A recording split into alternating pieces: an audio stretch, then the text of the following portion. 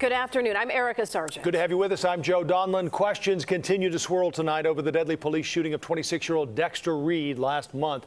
Investigators say Reed initiated a shootout with police, but now COPA is questioning the traffic stop to begin with and whether the officers are being truthful. CBS 2's Chris Tye is live with why calls for their police powers to be stripped are emerging as their history is now being examined. Chris. Joe and Erica, in those tense seconds prior to gunfire, police zeroed in on the tinted windows of Dexter Reed's truck. Roll it down, they said, since it was hard to see through. But COPA now saying that hard to see through window makes it hard to believe the officer's rationale for pulling him over. They say it's because they saw through that window that he wasn't wearing a seatbelt. COPA's boss says until this gets sorted out, those officers should be stripped of police powers. Those are some pretty strong words. Yes, they are, and I don't I don't make those recommendations or requests lightly. Three and a half weeks before this deadly shootout, the same team of five tactical officers in plain clothes and unmarked cars pulled over a different vehicle in Chicago. These officers have been engaged in traffic stops that have led to other civilian complaints that our office has received. The Civilian Office of Police Accountability says it has an open investigation into another traffic stop involving the same five officers, which occurred less than a month prior to this incident and was purportedly also based on a seatbelt violation. COPA is currently investigating that complaint. And now COPA has called into question the believability of the officer's seatbelt rationale for pulling Reed over.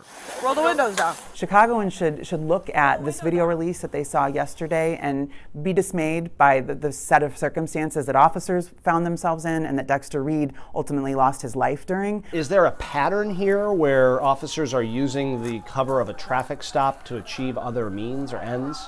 I think we're too uh, early in the stages of this investigation to make those kinds of statements, but uh, the public should be assured that we are looking at all of this information for just that purpose.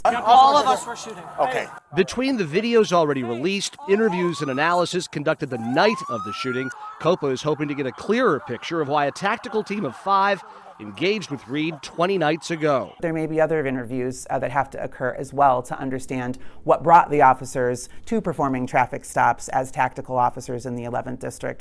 COPA and CPD agree Reed fired first, striking an officer in the process. But COPA is looking to see if there's a missing piece that may explain why the officers were pursuing a man they say was unfamiliar to them.